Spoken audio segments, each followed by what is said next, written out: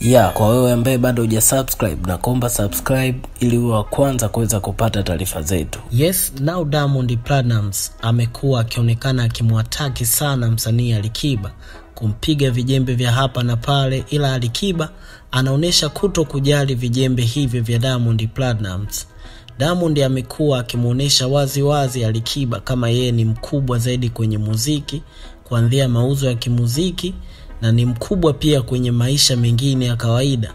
Ya siku za hivi karibuni Alikiba ameachia nyimbo ambayo ameshirikiana na Tommy Flavor, nyimbo ambayo ilifanikiwa kuitoa nyimbo ya Diamond Platnumz aliyoshirikiana na Koffi Olomide na Alikiba kukaa namba moja katika trending za YouTube. Baada ya Alikiba kukaa namba moja, yalisemwa mengi sana kwenye mitandao ya kijamii kuhusu kumshusha Diamond Platnumz. Siku ya Ijumaa Baba Levo aliachia nyimbo yake aliyoshirikiana na Diamond Platnumz na nyimbo hiyo ya Baba Levo kufanikiwa kukaa namba moja katika trending za YouTube.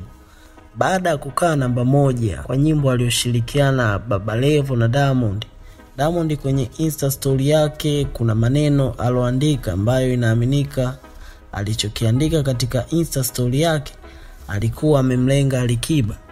Diamond alikuwa ameandika hivi kwenye Insta story yake, aliandika hivi. Kwanza alikuwa ameweka kava ambayo ni kava ya Baba Levo na yeye mwenyewe kwa nyimbo ambayo inaitwa Amen, kisha akaandika maneno yaliyosomeka vita zingine ni ndogo sana, kana kwamba ukipeleka hata visu inakuwa kama unaonea, unapeleka tu viwembe inatosha. Hivyo ndivyo alivyokuwa amemaliza Diamond Platnumz. Nafikiri ni hayo tu tulobahatika kuwa naye kwa siku ya leo, so nikukumbushe subscribe, mambo yaweze kuwa biloka na ngai.